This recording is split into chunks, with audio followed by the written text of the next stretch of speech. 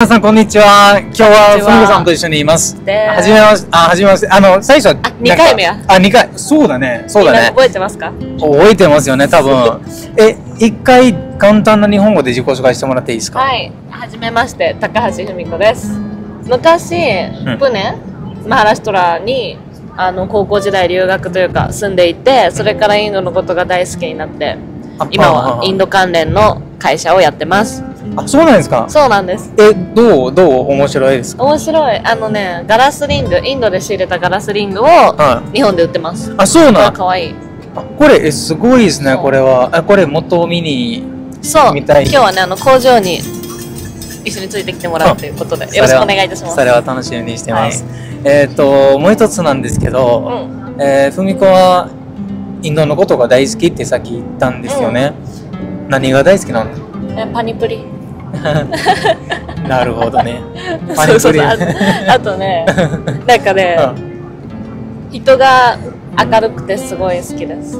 ああ、なんかさ、ん。日本と似てるような文化とか、全然似てないような文化があります？うんあるあるわかるわかるわかる。それはどう、どういう、なんか日本人からそういう質問したことがまだないんで、だからにちょっと聞きたいなって。似てると思うことか。うん。似てると思うのは年上の人大切にするよね。ああ、なリるほどスペクトね。エルダーピーポーみたいな。あ、それは日本と似てる。うんでもインドの方がもっとリスペクトするイメージはあるけど、うんうんうんあ。逆に違うところは、うんほとんど全部。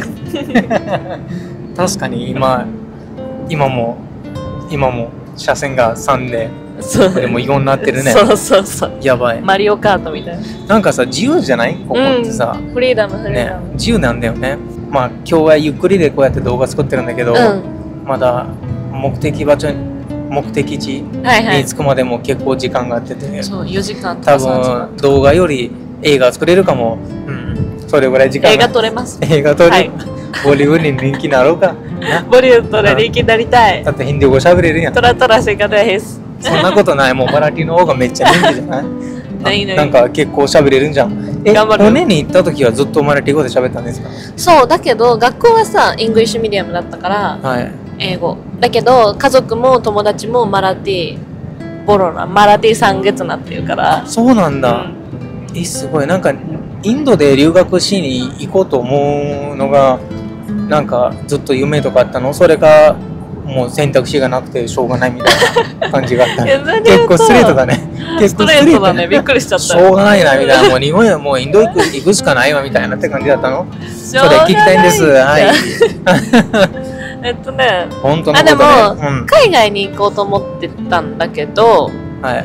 なんかどうせ行くんだったらめちゃくちゃ正反対な国に行きたかったなるほど。そのと想像がついちゃう。アメリカでの生活とかも。うん。なんか文化がさとにかく豊かでさ歴史もあってさもう全部が違うわけ。食べ物も着る服も華やかだし宗教もめちゃくちゃ充実してるし。だからそういう非日常みたいなのに憧れてインドへの興味はずっとありました。あ、なるほどね。えーっと、インドに来た時の大体何年間ぐらい住みましたっけ？多分1年 ?2 1年年？一年半とかかなけ？で今はこう3ヶ月に1回ぐらいうん。仕事とかで遊びに来てますあ、すごい。仕事で遊びっていうのはもう最高すぎるだと思うよ。趣味趣味趣味もうこれ以上かん、まあ、すごい完璧主義。うんでさ、あの、うん1年間でさ、インドから学んだことがありますいっぱいあるよ例えばそれ聞きたいんです。うわー、はいまずはすごくマインドのところメンタリティだけどあなんか日本人ってーうん。あの人に迷惑をかけないで生きなさいって教わるのねうんうん。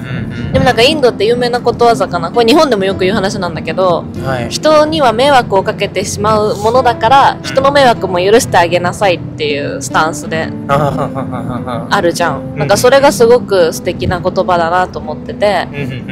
例えばさなんかなんだろう。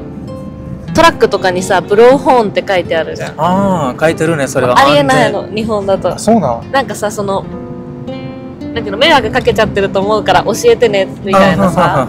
とかプープープーっていうのめっちゃ悪いことだと思ってたけどなんかそれも許し合ってるんだっていうのがそれはねあのトラックの後ろになんでブローオンって書いてるっていう知ってます、知らないちゃんとは、トラックはめっちゃでっかいやんうんそしてトラックから通るときはさ、うん車の大体ちょっと見えないよなんか右側か左側かうんで一回クレクションするとうんなんか分かっちゃうんですよ。車がいるってみたいな。ああそういうコミュニケーションみたいな感じでへー。クレクションを使ってるよみんな。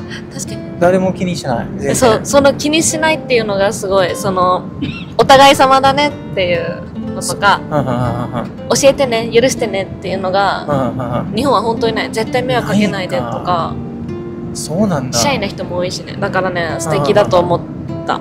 あいやそっかそっかそっか。なんか日本ってさ僕はそんなに詳しく分かってないんですけど、えーもうこの間日本行ってきた時は長い間じゃなかったんですけど、まあいた時はさもうコレクションってさ車の中に本当にあるかなぐらいの議論してて、誰もコレクションしてないね、うん。でみんなが気遣ってるのかただ使いたくないのかみたいな別にちょっと分かんないけどでもふみこさんはここで学んだのはあまり気にしなくて気使わずにみたいな。あとさなんか日本にいるとこの服変かなとかさこういうこと言ったらみんな嫌かなみたいなのちっちゃいこといっぱい気にしちゃうんだけどインドにいるとはい。本当に自分の好きなように生きられてすごい楽しい。